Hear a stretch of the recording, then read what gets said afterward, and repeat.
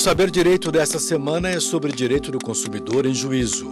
Nossa convidada é a professora e advogada Patrícia Dreyer, especialista em processo civil, direito público e relações de consumo.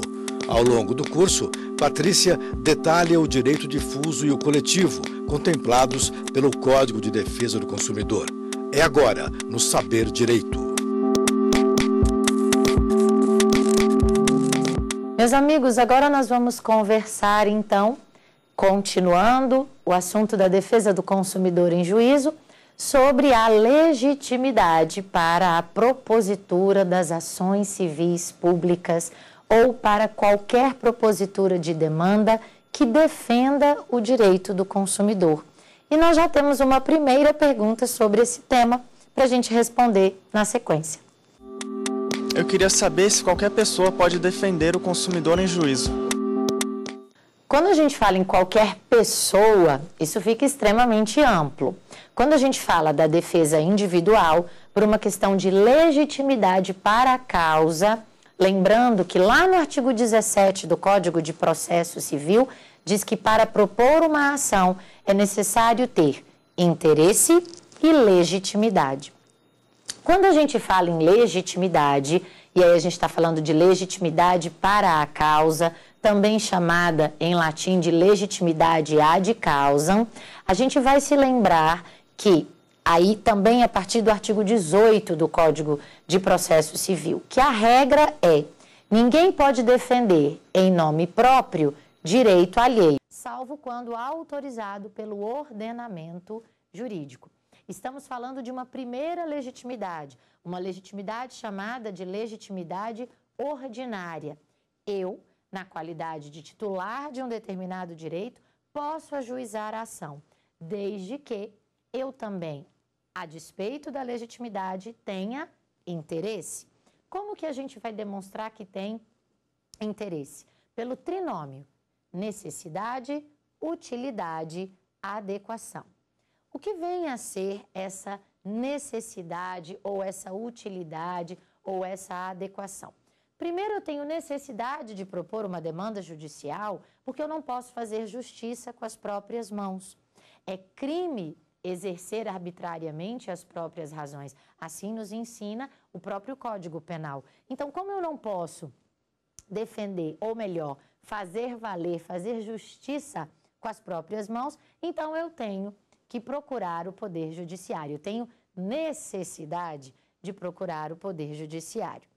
Quando eu demonstro a necessidade, eu tenho também que ter utilidade nessa demanda. E quando a gente fala aqui em utilidade, a gente está falando de um pedido. Pedido esse capaz de estancar a lesão ou de estancar a ameaça sofrida. Eu estou dizendo o seguinte: se eu, porventura, contratei com uma determinada operadora de telefonia celular e ela cobra abusivamente ou ela me cobra algo que eu não contratei, isso não quer dizer especialmente ou notadamente que eu tenho direito a dano moral ou que eu tenho direito, por exemplo, a uma publicação na imprensa. Não. O que eu tenho direito é de pedir o estancamento dessa lesão que eu tenho sofrido. Ou seja, se ela me fez uma cobrança abusiva, eu quero que o judiciário declare, portanto, que essa cobrança é abusiva e que, portanto, deixe de ser cobrado. Se eu paguei alguma coisa, eu quero o retorno desse valor, que a gente chama de repetição do indébito. Ou seja, repetir devolve aquilo que eu não devo, devolve o indébito. Então eu tenho que ter necessidade, utilidade. E como que eu vou demonstrar adequação? Adequação do procedimento. Quando a gente fala em direito do consumidor, a gente vai ter inúmeros casos, inúmeros contratos, inúmeras negociações de causas que a gente vai entender de menor valor ou de valor menos expressivo. Daí a gente se utiliza dos juizados especiais. Lembrando que os juizados especiais cíveis eles cuidam de causas de até 40 salários mínimos. E é até importante lembrar que nas causas de até 20 salários mínimos é dispensável a assistência de um advogado. Então, individualmente falando, eu e você podemos escolher o rito do juizado especial sozinhos, enquanto consumidores, se essa causa for de até 20 salários mínimos. Aqui, até como uma utilidade pública, é importante lembrar: eu e você, consumidores, se quisermos ajuizar uma demanda de até 20 salários mínimos, nós nem precisamos contratar um advogado nem precisamos escrever ou fazer uma petição inicial. Fazer petição inicial é típica de advogado, mas o consumidor ele não tem que saber como é que se faz uma petição inicial com toda aquela sistemática ou com todos aqueles requisitos. Não, o consumidor ele vai até o judiciário, vai até um juizado especial. Lá ele vai ser atendido por uma pessoa que vai fazer um termo, que vai relatar aquilo que aconteceu. A gente chama isso do serviço de redução a termo. O consumidor ele sozinho não precisa nem manejar o processo eletrônico, porque o judiciário tem que manejar isso por ele.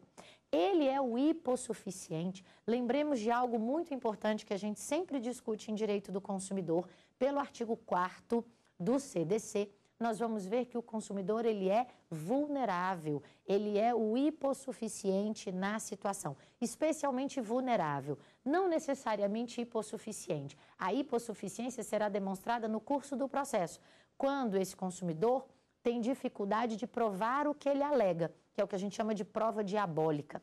Exigir de um consumidor, por exemplo, a gente vai conversar sobre isso mais adiante. Exigir, de um consumidor, por exemplo, onde está o contrato que você assinou? Mas eu fiz o contrato por telefone. A operadora me ligou, o fornecedor me ligou e fez o contrato comigo por telefone depois disse que ia mandar por e-mail, mas nunca mandou. Então ele não tem esse contrato aí ele é hipossuficiente, ele tem dificuldade de provar o alegado. Agora, eu posso ter um outro consumidor, lembrando do primeiro conceito que a gente conversou, que consumidor é esse? A pessoa jurídica que adquire um produto, que contrata um serviço para sua atividade meio e ela faz contratos mais expressivos. Muito provavelmente, ela vai ter esse documento escrito ela consegue provar com mais facilidade que um consumidor como esse que eu acabei de mencionar. Então, esse consumidor vulnerável, ele vai até um juizado especial, se a causa dele for de até 20 salários mínimos, e ele pode, sozinho, sem assistência de um advogado, relatar ao judiciário o que aconteceu. Isso vai ser reduzido a termo e haverá uma audiência de tentativa de conciliação. Não havendo conciliação, então o fornecedor, o requerido, neste caso, vai fazer a sua defesa, pode haver a produção de provas e a gente vai ter a prolação de uma sentença. Aí sim, se houver necessidade de interposição de recurso por parte do consumidor, aí ele vai precisar do advogado, porque recorrer é um ato típico de quem tem capacidade postulatória, no caso, o advogado. No caso dos juizados especiais da Fazenda Pública e dos juizados especiais federais, porque eu posso propor, por exemplo, uma ação contra a Caixa Econômica Federal, é uma empresa pública. Eu posso propor uma ação contra os Correios, é uma empresa pública. Então, eu tenho que buscar o juizado especial federal. No juizado especial federal, o valor da causa, assim como dos juizados especiais da Fazenda Pública, é de até 60 salários mínimos. Mas o rito, lembra que tem que ser o rito adequado? O rito é o rito que se aproveita da Lei 9099 de 95, que é a Lei dos Juizados Especiais Cíveis. Então, o consumidor sozinho, ele pode buscar a sua defesa nas causas de valor menos expressivo, até 20 salários mínimos, sem advogado. Nas causas de valor superior a 20 salários mínimos até 40, ele pode optar pelo juizado especial cível ou por uma vara cível. Causas de mais de 40 salários mínimos necessariamente vão para as varas cíveis, ainda que envolvam as relações de consumo dos vários tribunais, sejam os tribunais estaduais ou o Tribunal do Distrito Federal. No âmbito federal, a gente vai ter os juizados especiais federais, com competência absoluta para as causas de até 60 salários mínimos, e os juizados especiais da Fazenda Pública também, com causas de até 60 salários mínimos. Passou desse valor, aí a gente tem que ir para as varas cíveis, tanto das sessões judiciárias de todas as unidades da federação, como para as varas de fazenda pública, quando a gente tem uma relação de consumo com a fazenda pública. Isso no caso da defesa individual. Mas a gente vai ter também a defesa coletiva. E para a defesa coletiva, a gente vai entender no artigo 82 do Código de Defesa do Consumidor quem são essas figuras. O legislador parte de um princípio: quem é que tem representatividade adequada. O que vem a ser representatividade adequada? É uma relação que deve existir entre aquele que pretende realizar a defesa e esse direito coletivo a ser tutelado estamos de novo partindo das class action americanas, ou seja, dessas ações de classe. Eu tenho que ter uma associação, por exemplo, que defende o consumidor no caso das companhias aéreas. Aí essa associação pode ajuizar ações coletivas para defender o consumidor em casos que envolvam companhias aéreas. Eu posso ter, por exemplo, uma associação que defende o consumidor no caso das relações bancárias com as instituições financeiras. Então, essa associação tem representatividade e tem pertinência, pertinência objetiva e subjetiva para defender o consumidor nesse tipo de demanda. Por que, que isso vai acontecer? Voltemos no artigo 17. O artigo 17, lá do Código de Processo Civil, disse que eu preciso ter interesse e legitimidade. Eu, consumidora, posso defender em meu nome direito meu, mas não posso defender em nome próprio direito alheio, salvo quando autorizado por lei. Estamos aqui falando da legitimidade extraordinária. Essa legitimidade do artigo 82. Nós vamos ter um rol de figuras que podem defender em nome próprio o direito coletivo, o direito do consumidor. Só para a gente contextualizar, isso é muito importante, especialmente para quem se prepara para as provas da UAB ou para quem se prepara para as provas de concurso, vamos lembrar que nós vamos ter três tipos de legitimidade extraordinária. Nós vamos ter a legitimidade extraordinária concorrente, a legitimidade extraordinária subsidiária e a legitimidade extraordinária exclusiva. Aqui falando ainda um pouquinho desse Código de Defesa do Consumidor na legitimidade extraordinária concorrente, concorrente à legitimidade ordinária do consumidor.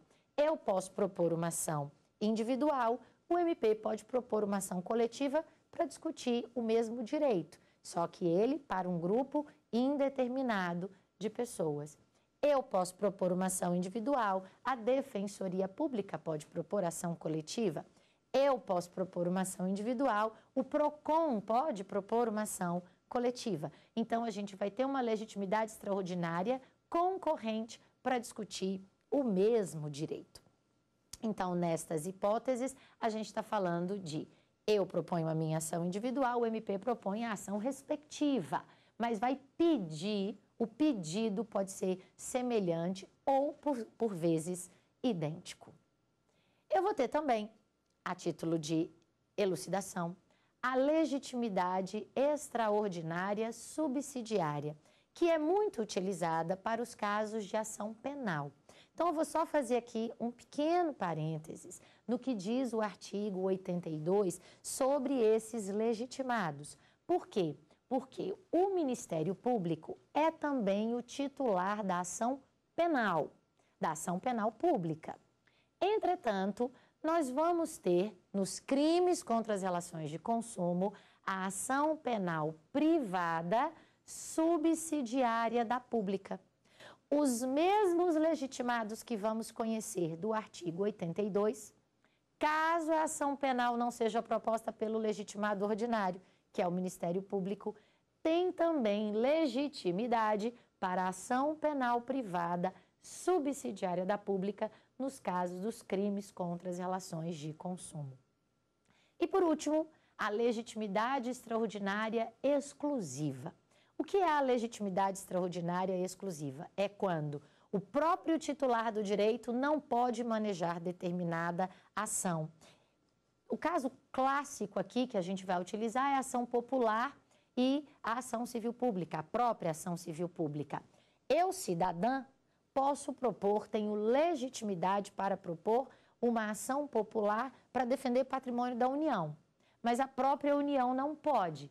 Então, ela não tem legitimidade para defender seu próprio patrimônio por meio dessa demanda. Ela tem outros remédios para isso, mas eu, cidadã, posso ajuizar. Por outro lado, eu sou consumidora, você é consumidor, mas nós não podemos propor ação civil pública. Quem pode? Os legitimados do artigo 82. Então, a gente vai dizer aqui que a gente tem um substrato dessa legitimidade extraordinária exclusiva. Os legitimados extraordinários atuam como substitutos processuais. Existe uma grande doutrinadora, uma grande processualista, a professora Ada Pellegrini Grinover, e o que, que ela diz? Que há parte da doutrina que entende que legitimidade extraordinária é sinônimo de substituição processual, e que há outra parte da doutrina que vai dizer que a legitimidade extraordinária comporta em sua subespécie a substituição processual. Mas como estamos falando do artigo 82, vamos nos ater àquilo que é o gênero, a legitimidade extraordinária. Conhecendo desse detalhe de que o legitimado extraordinário do artigo 82 é, por vezes e por boa parte da doutrina, visto como um substituto processual. Substituto processual esse que tem representatividade adequada, ou seja, que tem pertinência objetiva e subjetiva com a defesa do direito a ser tutelado. Então, sem mais delongas, nós vamos conhecer aqui o artigo 82, que diz: Para os fins do artigo 81, parágrafo único, são legitimados concorrentemente. Quando ele diz são legitimados concorrentemente, ele está dizendo qualquer uma dessas figuras pode propor a mesma demanda. E a gente não vai ter aqui uma situação de litispendência. Por que, que a gente não vai ter uma situação de litispendência? Porque os sujeitos são diferentes. Mas a gente pode pensar em litisconsórcio. Litisconsórcio esse que vai ser facultativo, porque pode ser formado litisconsórcio, mas é um litisconsórcio facultativo e unitário, ou seja, o que ficar decidido, fica decidido no âmbito daqueles legitimados extraordinários. Quando disse também aqui no artigo 82, para os fins do artigo 81, está dizendo, para a defesa dos interesses difusos, coletivos e individuais homogêneos, quem tem legitimidade para isso? Bom, tem legitimidade para isso. O Ministério Público, o mais famoso deles, e aí olha que interessante aqui: a União, os estados, os municípios e o Distrito Federal. Já saltou aqui a Defensoria Pública e isso nos causa uma certa curiosidade que a gente daqui a pouco vai explicar. Depois, as entidades e órgãos da administração pública direta ou indireta, ainda que sem personalidade jurídica. Exemplo, o PROCON especificamente destinados à defesa dos interesses e direitos protegidos por este Código. E, por fim, vai dizer o inciso 4, as associações legalmente constituídas há pelo menos um ano e que incluam entre os seus fins institucionais a defesa dos interesses e direitos protegidos por este Código, dispensada a autorização assemblear dispensada a autorização assemblear, mas com requisito temporal de constituição há pelo menos um ano. Por que, que o legislador colocou isso? Para que não se crie uma associação especificamente para ajuizar esta ação. Por outro lado, o parágrafo 1 se contradiz, porque o parágrafo 1 do artigo 82 diz assim: o requisito da pré-constituição, esse requisito de um ano, pode ser dispensado pelo juiz nas ações previstas nos artigos 91 e seguintes, quando haja manifesto interesse social evidenciado pela dimensão ou característica do dano ou pela relevância do bem jurídico a ser protegido. É por isso que a gente pode pensar naqueles casos que eu falei para você de embarcação, de companhia aérea, de um grave acidente que causou um dano imenso dentro de um determinado estabelecimento a um número expressivo de pessoas. Então a gente pode ter uma associação criada para isso pensando na economia processual, o que é bom porque é muito melhor você ter uma única ação de uma associação que vai representar aí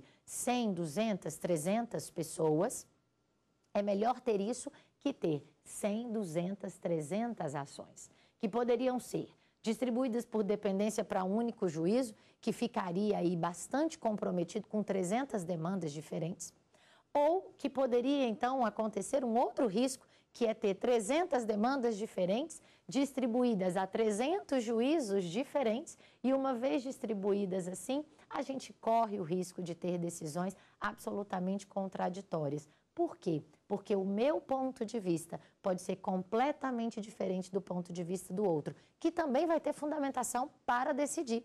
Então, um magistrado poderia decidir de um jeito, enquanto outro magistrado pode decidir de outro. E é por isso que é melhor constituir-se uma associação para defender esse direito coletivo. Pensando nisso, vai dizer o parágrafo primeiro que é possível a constituição de uma associação assim, desde que haja manifesto interesse social evidenciado pela dimensão ou característica do dano ou a relevância do bem jurídico a ser protegido especialmente quando se fala em direito à vida, direito à saúde, direito à segurança. São os direitos mais importantes tutelados pelo Código de Defesa do Consumidor, mais do que o direito à informação, é o direito à vida, à saúde, à segurança. Os produtos, os serviços que contratamos, que utilizamos, não podem colocar a nossa saúde em risco, a nossa segurança em risco e muito menos a nossa saúde em risco. E aí a gente vai conhecer, então, a partir desses dois legitimados, dois sistemas. Sistema chamado de OP Iudices e o outro sistema chamado de OP Legis. Ou seja, eu estou falando que conforme a lei ou conforme o legislador, ou seja, OP Iudices conforme o, legisla, o julgador ou OP Legis conforme o legislador, nós vamos identificar qual sistema adota qual modelo de representatividade. Se um determinado ordenamento jurídico, estou falando em aspecto mundial, se um determinado sistema jurídico adota o sistema OP Iudices, conforme o julgador, então é o julgador que vai enxergar se naquele caso aquele autor da demanda tem representatividade adequada tem pertinência subjetiva e objetiva para discutir aquela demanda. Então, eu estou dizendo que, num determinado sistema, pode ficar entendido, vamos pensar uma situação. A gente tem uma determinada lanchonete. Essa lanchonete é bastante famosa, ela tem várias unidades distribuídas aí por várias cidades daquele país. Essa lanchonete começou a adotar uma determinada prática e essa prática, ou um determinado produto, ou um determinado alimento, ou um determinado brinde, o que quer que seja, mas que começa a causar riscos à saúde ou à segurança dos consumidores como um todo. Será que pode ser constituída uma associação exclusivamente para ajuizar uma ação? Teria esta associação representatividade adequada para defender os consumidores que contrataram esse produto ou esse serviço dessa determinada lanchonete, dessa rede de é, alimentação? O magistrado vai decidir. Ou será que uma outra associação, ou será que um outro ente ou órgão da administração teria legitimidade para defender esse direito do consumidor? No sistema OP Iudices, é o julgador quem vai analisar esta legitimidade. É o julgador quem vai analisar se há representatividade adequada. Já no sistema OP Legis, ou seja, conforme a lei, nós vamos ter a própria norma dizendo quem são esses legitimados.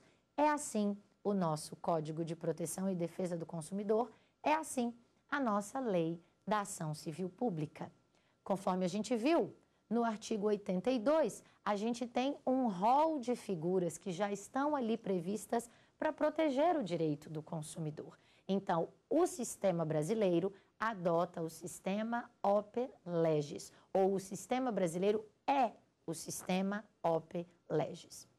Ou seja, é aquele sistema em que essa representatividade adequada já vem prevista pela própria norma. Nós vamos dizer que já existe um nexo temático. Por que existe um nexo temático? Porque já faz parte das funções institucionais desse determinado sujeito. O Ministério Público, a Defensoria Pública, as associações, a própria administração, os órgãos da administração que protegem, que defendem o direito do consumidor, ele já tem na sua função institucional essa defesa. E por ter, ou melhor, não só o direito do consumidor, mas o direito coletivo, como ele está previsto nessa sua função institucional, então o nexo temático já vem previsto pela própria norma. Isso evita também que haja um número ou que haja um sem número de sujeitos interessados nas defesas dos direitos coletivos, o que poderia causar uma grande confusão processual, um tumulto processual que, em vez de beneficiar o consumidor ou qualquer titular de direito meta individual, acabaria por prejudicar esse titular do direito individual ou do direito difuso ou do direito coletivo. Então, nós teríamos aqui um grave problema. Passando a legitimidade ainda do sistema OPELEGES prevista no artigo 5 da Lei da Ação Civil Pública, da Lei 7347 de 1985, a gente tem a discussão sobre a figura da Defensoria Pública. Porque lá no artigo 5 a gente tem uma redação muito parecida com a redação do artigo 82. Mas o artigo 5 vem dizendo assim: tem legitimidade para propor a ação principal e a ação cautelar, e aí ela inseriu no inciso 2 a Defensoria Pública. E ainda colocou lá União, Estados, Distrito Federal e municípios, nós já tínhamos isso, autarquia, empresa pública, fundação ou sociedade de economia mista e a associação que, aí você já conhece, que esteja constituída há pelo menos um ano, nos termos da lei civil, e que inclua, entre as suas finalidades institucionais, a proteção ao patrimônio público e social, ao meio ambiente, ao consumidor, à ordem econômica, à livre concorrência, aos direitos de grupos raciais, étnicos ou religiosos, ao patrimônio artístico, estético, histórico, turístico e paisagístico. Por que, que o legislador colocou tudo isso? Porque esse é o objeto de demanda de uma ação civil pública. Não só o direito do consumidor, mas também todas essas vertentes que são aí o cabimento da ação civil pública prevista no artigo 1 da própria lei 7347 de 85.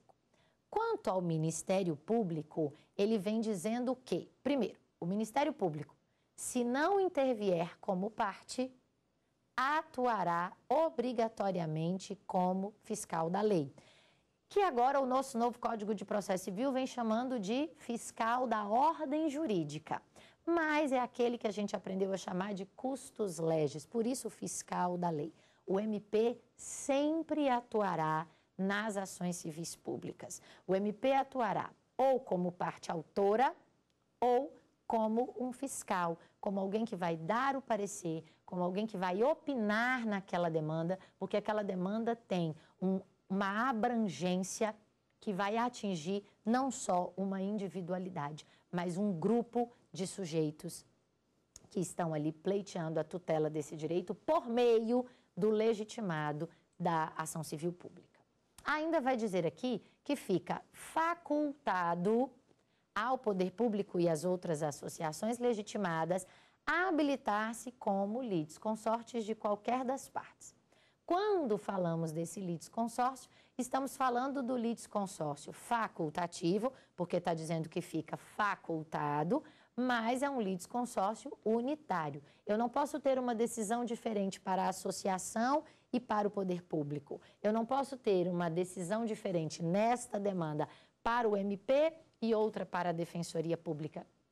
Assim como, falando ainda do Ministério Público, eu não posso ter uma, uma decisão diferente para o Ministério Público Estadual e outra para o Ministério Público Federal, que resolveu atuar como litisconsorte facultativo nessa demanda. existe a possibilidade do litisconsórcio, mas os efeitos da decisão devem ser necessariamente os mesmos, que é o que a gente chama de litisconsórcio unitário, litisconsórcio com mesma eficácia de decisão.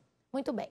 Falando ainda disso, falando dessa, desse litisconsórcio para os membros do Ministério Público que acabamos de mencionar, esse litisconsórcio vem previsto no parágrafo 5 do artigo 5 da Lei 7347 de 85, que diz assim: admitir-se-á litisconsórcio facultativo entre os ministérios públicos da União, do Distrito Federal, dos estados na defesa dos interesses e direitos de que cuida esta lei. Por quê?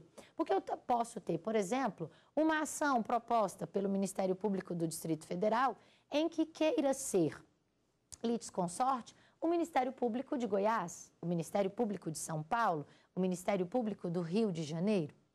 Por exemplo, eu me lembro de um caso voltado ao direito da educação em que o Ministério Público do Estado de São Paulo ajuizou uma ação contra as instituições de ensino que cobravam na hora de expedir o diploma.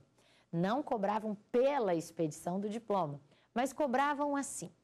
Eu, na qualidade de estudante, fiz todo o curso superior, paguei as mensalidades devidamente. Ou, se estudei numa universidade pública, tive o direito de não pagar por essas mensalidades. Mas uma vez que eu fiz todas as matérias obrigatórias, tive a frequência mínima exigida.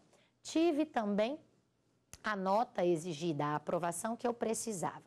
E aí, eu agora, terminando o curso, dou entrada no meu pedido de expedição do diploma, o que que muitas vezes as instituições de ensino faziam, fossem elas públicas ou privadas? Elas me pediam para pagar uma taxa.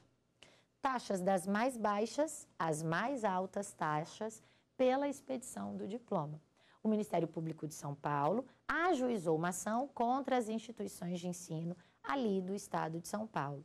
Seria possível que o Ministério Público do Distrito Federal, por exemplo, atuasse como litisconsórcio, nessa, como litisconsorte, por ser interessado, porque a gente pode ter uma instituição com sedes, com unidades diferentes, a gente pode ter uma instituição cuja sede está em São Paulo, mas que tem unidades filiais aqui no Distrito Federal, poderia o MP do DF atuar como litisconsorte interessado, portanto, nessa demanda?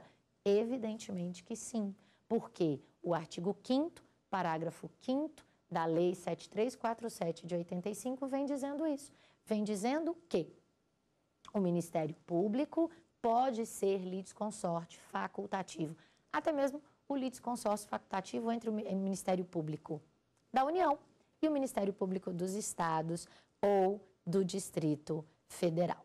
Então, a gente tem aqui, notadamente, a legitimidade do Ministério Público para demandar em uma justiça ou em um judiciário que não lhe seja correspondente. Isso é tranquilo. Isso aqui cai mais em prova de concurso essa discussão sobre a legitimidade para a atuação do Ministério Público. Tem uma outra questão sobre o Ministério Público que quem resolveu para nós foi o STJ. Depois, o Código de Processo Civil também ratificou, digamos assim, esse entendimento da, do, do Superior Tribunal de Justiça. O que disse o STJ? Quando a gente está nas instâncias extraordinárias, a gente tem um Ministério Público próprio que atua nas instâncias extraordinárias. Mas será que o Ministério Público do Estado poderia atuar junto ao STJ? O Ministério Público do Estado tem legitimidade para recorrer e manejar esse recurso junto ao STJ ou ao próprio Supremo? Evidentemente que sim. Existe um voto lindíssimo que, inclusive, decidia até onde o membro do Ministério Público deveria sentar, onde o membro do Ministério Público deveria se posicionar, já que nós já temos a figura do Ministério Público que atua junto aos tribunais superiores. Então, nós teríamos, por exemplo, junto ao Supremo Tribunal Federal, nós vamos ter lá o Procurador-Geral da República, mas a gente pode ter aqui o membro do Ministério Público Estadual. Se ele vem como recorrente, ele atua e fica na posição que todo advogado fica, porque é a posição do recorrente. Ele vai ao púlpito fazer sustentação oral, ele vai à tribuna fazer sustentação oral, como todo e qualquer outro advogado. Então, ele tem legitimidade para atuar. E não fica exclusivamente a cargo desse Procurador-Geral da República atuar ali junto ao Supremo Tribunal Federal. O mesmo raciocínio vai se aplicar para o Superior Tribunal de Justiça, em que também há um membro que vai atuar ali nas demandas próprias das instâncias extraordinárias. Mas o membro do Ministério Público Estadual, o membro do Ministério Público do Distrito Federal ou até mesmo o membro do Ministério Público Federal, a depender aí do caso, pode atuar na qualidade de litisconsorte, pode atuar na qualidade de recorrente, tem legitimidade para tanto, vai se posicionar, pode fazer sustentação oral, ficará ali na tribuna, caso seja necessário, na sua posição de recorrente, na sua posição, como se advogado fosse naquele momento, como se advogado recorrente, como qualquer outro advogado particular, assim o faz. Então, a gente tem essa primeira observação com relação ao Ministério Público, que a gente já vem discutindo do artigo 82, inciso 1 do Código de Defesa do Consumidor e do artigo 5, inciso 1 da Lei da Ação Civil Pública, Lei 7347 de 85. A discussão agora paira sobre a figura da Defensoria Pública, que não está no artigo 82 do CDC, mas que está no artigo 5 da Lei da Ação Civil Pública. E sobre isso nós temos uma pergunta também. Eu posso procurar a Defensoria Pública para defender um grupo de consumidores? A Defensoria Pública está legitimada a ajuizar uma ação civil pública. Quando a gente fala se a gente pode procurar a defensoria pública para defender um grupo de consumidores, a gente precisa entender se isso é uma ação coletiva ou se isso é uma ação em litis consórcio. Uma ação em litis consórcio desses consumidores que sejam hipossuficientes pode ser proposta pela Defensoria Pública como qualquer outra ação, assim como pode ser proposta por um advogado particular, que pode atuar na defesa de um grupo de consumidores. Mas isso não é uma ação coletiva, isso é uma ação em litis consórcio, em que a gente vai ter a discussão acerca do direito daqueles sujeitos que são individualizados, que são identificados na própria demanda. Quando a gente fala de ação civil pública e de ação coletiva, a gente também pode ter a defesa aqui por meio da Defensoria Pública. A gente pode ter uma atuação da Defensoria Pública. Mas aqui nós vamos também enxergar uma questão muito importante sobre a Defensoria Pública. O entendimento é de que as defensorias públicas, sejam as defensorias públicas estaduais ou as defensorias públicas, ou a Defensoria Pública da União. Elas têm legitimidade para atuar na defesa dos interesses difusos, coletivos ou individuais homogêneos de pessoas que se encontrem na condição de necessitados, os chamados vulneráveis ou hipossuficientes ou apelidados de juridicamente pobres. Quem são esses juridicamente pobres? São pessoas que independentemente de quanto percebam a título de remuneração ou renda, têm dificuldade de arcar com as custas de um processo ou com os honorários advocatícios sem prejuízo do seu próprio sustento e da sua família. Então, se essas pessoas têm insuficiência de recursos para custear uma defesa individual, em matéria de interesses difusos, ainda que seja aqui do grupo, ou em matéria de interesses difusos, ainda que seja desse grupo de pessoas indeterminadas, a Defensoria Pública tem legitimidade para o ajuizamento de uma ação que defenda essas pessoas na condição de deficiência econômica. Aqui, de novo, vou lembrar o professor Hugo Nigro Mazzilli, que nos ensina assim. abre aspas. A atuação do Ministério Público e da Defensoria Pública é sempre cabível em defesa de interesses difusos em vista de sua larga abrangência. Já em defesa de interesses coletivos ou individuais homogêneos, atuará sempre que, primeiro, haja manifesto interesse social evidenciado pela dimensão ou características do dano, ainda que seja um dano potencial, seja acentuada a relevância social do bem jurídico a ser defendido, esteja em, em questão a estabilidade de um sistema social, jurídico ou econômico, cuja preservação aproveite a coletividade como um todo. Fecha aspas. Então, sempre que eu falar da atuação da defensoria e da atuação do Ministério Público, eu tenho que pensar nessa relevância social. E ainda no parênteses da Defensoria Pública, que vai atuar nas ações coletivas, na defesa dos sujeitos que sejam hipossuficientes, na defesa dos interesses daqueles sujeitos que são aí chamados de juridicamente pobres.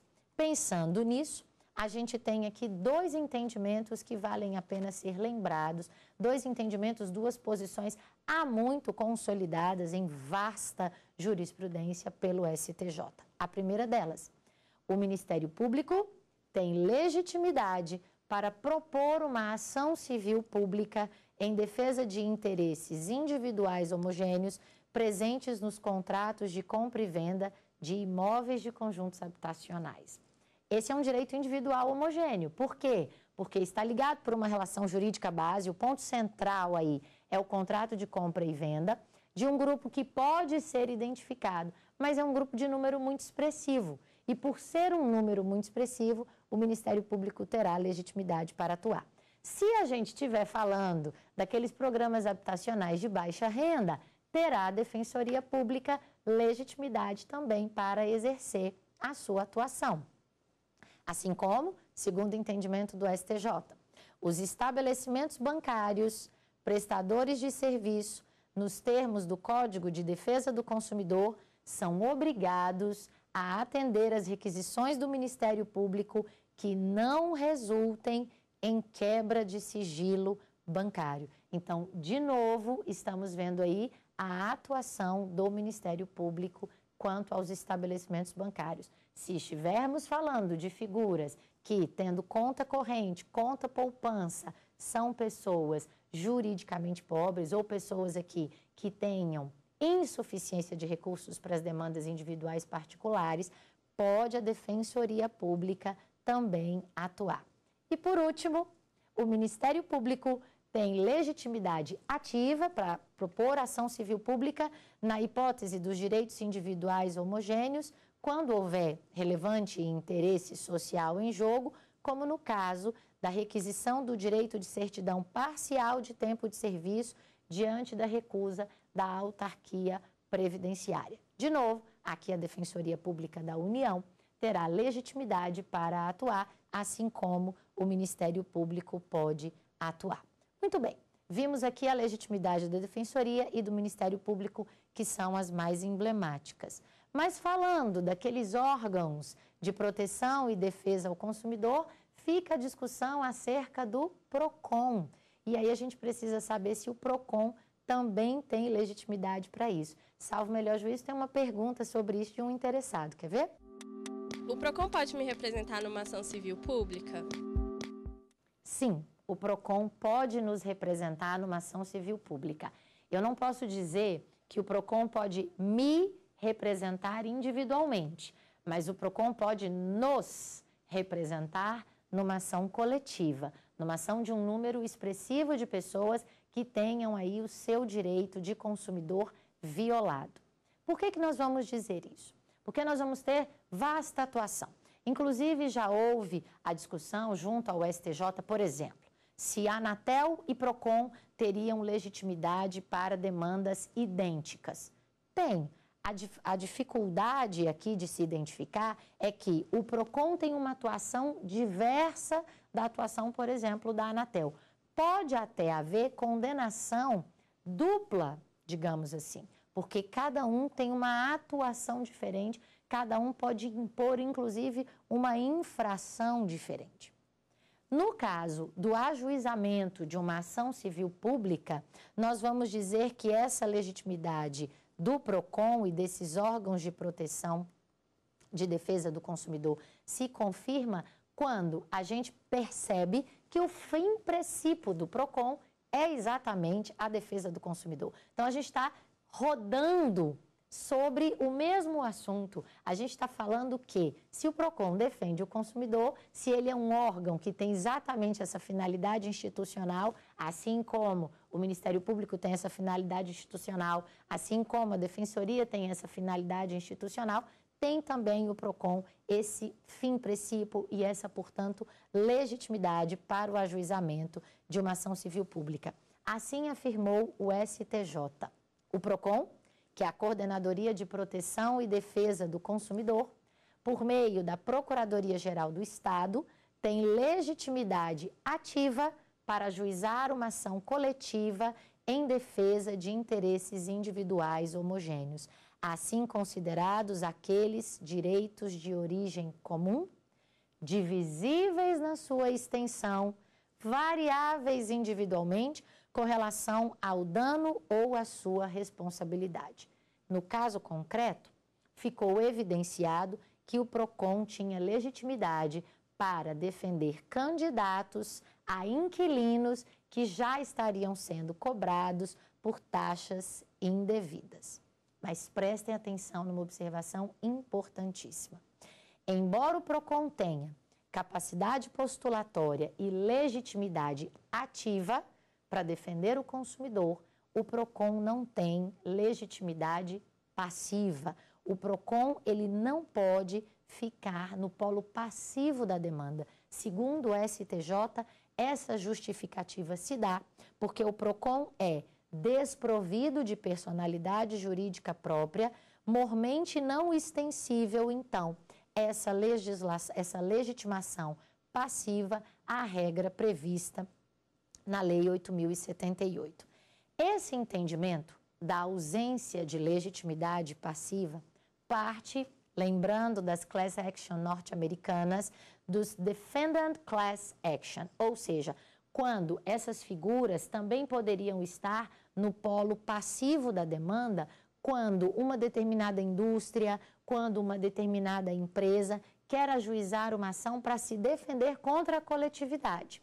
Vamos imaginar o seguinte: uma determinada indústria quer lançar um produto no mercado e já quer a proteção de que esse produto não é nocivo à saúde, não vai causar prejuízo à segurança, muito menos ao direito à vida do consumidor. Então, ela quer propor uma ação e aí ela quer atingir, por isso, defendant class action, ou seja, ela quer se defender e atingir toda a sociedade com essa defesa, mas não pode colocar no polo passivo, por exemplo, o PROCON. Por quê? Porque o PROCON não tem personalidade jurídica. Vai dizer aqui o próprio STJ. Então, esse ajuizamento da ação coletiva passiva poderia aqui alcançar algumas outras situações. Vejamos, a gente vai ver, por exemplo, que uma empresa, como eu falei, uma indústria, poderia defender o seu produto. A gente poderia ter também uma empresa que, gostaria de ver reconhecido que uma determinada cláusula do seu contrato não é abusiva e quer defender-se disso contra toda a sociedade. Uma empresa poderia, por exemplo, propor uma ação declaratória para que o seu projeto ambiental fosse aprovado. Ela está instituindo ou abrindo um novo empreendimento e quer se defender para ver obtida uma declaração judicial de que o seu projeto protege, defende a, o meio ambiente, esse meio ambiente ecologicamente equilibrado. Então, a maioria da doutrina não vai admitir, no caso do direito brasileiro, todas essas class action aqui para nós, para o nosso sistema. Mas a gente sabe que elas existem e existe uma parcela mínima de doutrina que vem admitindo estas possibilidades. Com isso, do que nós falamos aqui então nesse nosso bloco? Falamos então de toda a legitimidade do artigo 82, falamos do artigo 82 do CDC e falamos da legitimidade da ação civil pública do artigo 5. O que nos chama mais a atenção aqui? A legitimidade do Ministério Público, que está absolutamente equipado para defender os direitos coletivos, notadamente os direitos do consumidor. Falamos do parênteses da legitimidade da Defensoria Pública e falamos da legitimidade especialmente do PROCON. Vimos também que não é possível que PROCON, por exemplo, figure num polo passivo de demanda para que uma determinada empresa ou indústria queira defender o seu direito do consumidor. Vimos ainda que, no caso dessa ação proposta por uma das empresas ou indústrias fornecedoras de produtos e serviços contra a sociedade, ou seja, ela está se defendendo, as chamadas Defendant Class Action, que isso no Brasil, isso não vem muito aceito, não vem sendo muito aceito ou muito admitido. Todavia, existe uma parcela mínima da doutrina que entende que isso é absolutamente viável, razoável e possível. O que fica agora para nós de dúvida é que tipo de ação a gente pode propor? Quais são as ações cabíveis? Quais são as ações possíveis? Podemos propor ações individuais? Que pedidos podemos fazer? Podemos propor ações coletivas? Que pedidos nós também podemos formular? E é a partir disso, então, que nós vamos conversar no nosso próximo bloco. Quais são as ações e qual é o pedido que nós podemos fazer, que nós podemos formular para a defesa dos direitos coletivos e especialmente para a defesa do direito do consumidor em juízo para a defesa do direito do consumidor diante do Poder Judiciário. Ficou com dúvidas? Mande um e-mail para saberdireito.stf.jus.br. Lembrando que você também pode estudar pela internet. Basta acessar tvjustiça.jus.br.